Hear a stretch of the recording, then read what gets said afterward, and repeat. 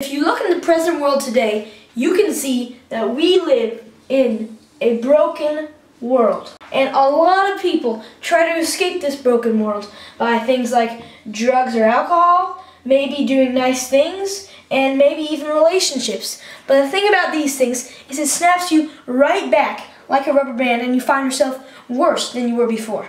Now the second circle is God's original design. Now this is before uh, anyone has sinned. This is in the time of Adam and Eve. Man chose to go to this broken world through their sin. And when they did that, now we're stuck in this broken world. So God loved us so much that he came down to earth, died on a cross, and rose from the dead. And when he died on that cross, he conquered sin. So if we go through Jesus, we can get back to God's original design.